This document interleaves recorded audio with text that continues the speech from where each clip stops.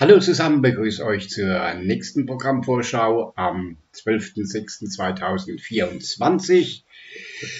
Ja, Brandmauer gegen Europa, wie Politik und Medien bei uns die Demokratie zerstören. Aber nicht nur das ist ganz arg am Arsch.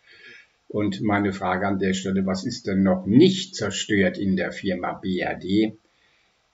Ja, und darum geht's, aber ihr wisst ja, gibt noch weitere andere Punkte, wieder bei BitChute, Odyssey, Rumble und VK.